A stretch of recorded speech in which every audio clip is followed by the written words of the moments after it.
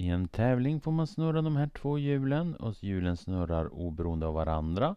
Hur stor är sannolikheten att vinna om man vinner då summan av talen på de här två hjulen är 6.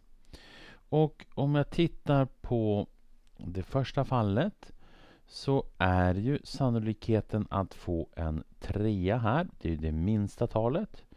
Det är ju hälften av hela cirkeln, så sannolikheten här är en halv. Och här så är trean det minsta talet och 3 plus 3 det är 6. Så det är det enda alternativ som finns.